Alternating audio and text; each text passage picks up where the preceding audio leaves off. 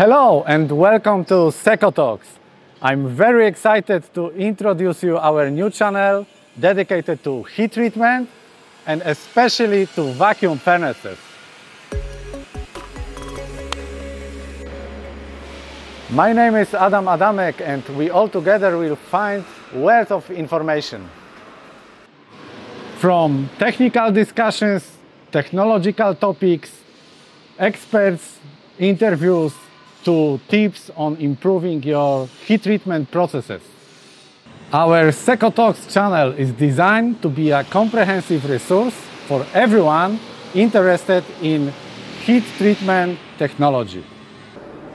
We will be covering several areas from educations with videos explaining different heat treatment processes, case studies, true stories from our existing customers about uh, processes they operate every day, interviews with industry experts that bring us the latest insights and trends, panel discussions on specific topics like brazing, carburizing, nitriding, and other heat treatment processes.